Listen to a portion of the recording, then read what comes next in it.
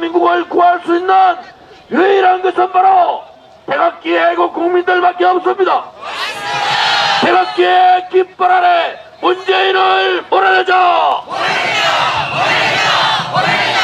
태극기의 깃발 아래 김정은을 처단하자! 그들이 북핵표 안보쇼를 벌인 것이 벌써 언제입니까? 그들은 대한민국 국민을 바보로 알고 있습니다. 김정은은 신년사를 통해서 북한핵 보유국을 선언했습니다. 그런데 아직도 이 민노총에 장악된 쓰레기 같은 언론 방송들은 김정은을 찬양하고 있습니다. 대한민국은 그런 나라가 아닙니다.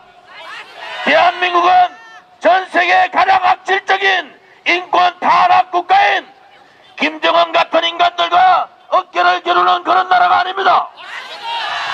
김정은은 우리의 주적이요. 저 북한 계례 정권은 대한민국의 주적입니다. 한미동맹 강하여 김정은을 처단하자! 동지 여러분, 여러분들도 놀랄 겁니다. 다음 주는 여러분이 깜짝 놀랄 겁니다. 10만 대군으로 광화문을 점령하자! 10만 대군 서울역에서 광 화문을 점령하자! 이제는 우리의 진실 투쟁, 우리의 정의의 투쟁이 옳았습니다. 그들의 거짓과 불의에 거짓은 거짓이라 얘기하고 불의는 불의라고 얘기할 수 있는 용기 있는 그러한 국민들이 필요한 겁니다. 신재민 사무관을 검찰 고발하고 재갈을 물리는 정권 김태우 수사관을 감옥에 넣겠다는 정권. 이 정권의 도덕성이 이제는 끝장난 거 아닙니까 여러분?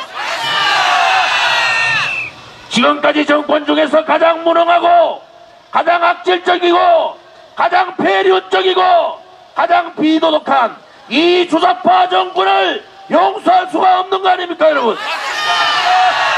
정의의 이름으로 태극기의 이름으로 주사파 정권 몰아내자! 우리는 오늘로서 101번째 태극기 집회를 가집니다. 2018년까지의 100번째 태극기 집회가 우리의 태극기 혁명의 준비 단계였으면 2019년 오늘부터 101번째 되는 태극기 집회- 집회부터는 완성 단계를 만들어야 합니다. 자유민주주의 시장 경제를 지키는 태극기 혁명으로 나아가는 대한민국을 구출하자! 뇌물한푼 받지 않은 대통령이 이 악질적이고 이 탄압을 해도 정치보복을 해도 이렇게 정치보복을 하는 나라는 없습니다.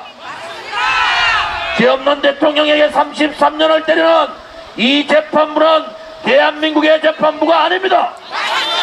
언젠가는 그들이 그들의 적폐의 이름으로 태극기의 이름으로 구치소에 갈 날이 멀지 않았습니다.